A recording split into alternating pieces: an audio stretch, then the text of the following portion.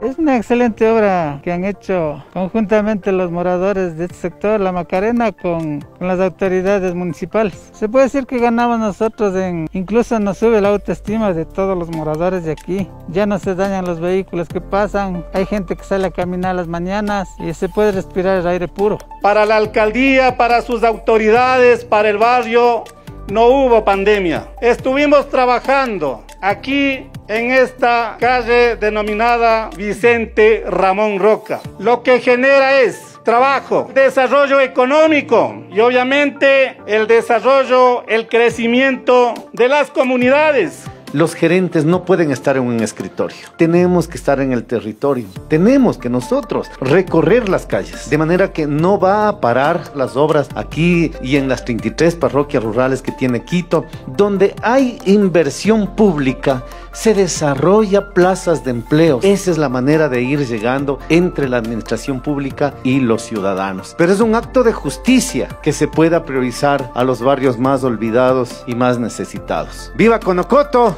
¡Viva Quito! Muchas gracias.